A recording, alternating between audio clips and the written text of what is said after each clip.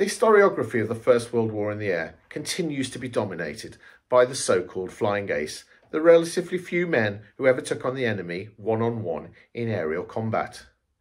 These representations, even in recent works, are typically of teenagers, barely out of their posh public schools, with tiny numbers of flying hours, having been schooled in a training system that killed more of them than the Germans managed to do themselves. Well, by researching recruitment and training in the Royal Flying Corps, I'll be able to challenge some of these existing narratives and potentially to demolish some myths, particularly with regard to their training. Only 8% of the 291,000 men in the Royal Flying Corps in November 1918 would ever have set foot in an aircraft. They were not then all pilots and observers. In fact, they were mainly mechanics, they were riggers, they were sailmakers, they were coppersmiths, they were blacksmiths. They were drivers. They were the men who kept the Royal Flying Corps functioning. And of these 92%, almost nothing has been written. My research will examine how prevalent such trades even were in 1914. There was never conscription into the Royal Flying Corps. So how on earth did they oversee a thousand-fold increase in numbers in only four years? I will look in detail at the backgrounds of approximately 2,000 men, officers, NCOs and men from the ranks.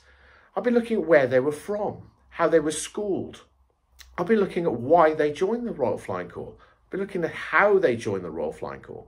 And already from this analysis, it's very clear the tally-ho image of the Royal Flying Corps is nothing other than a nonsense.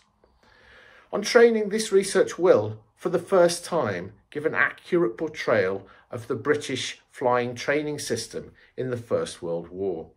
We'll examine over 250 logbooks, looking at how many hours individual pilots had before they were sent to the lines to take on the Germans. I've been through every casualty record of every Royal Flying Corps officer killed during the First World War and examined how many of them were killed during their training. I can tell you already that the answer is not the more than 50% portrayed in many books. In fact, it's not even half of that.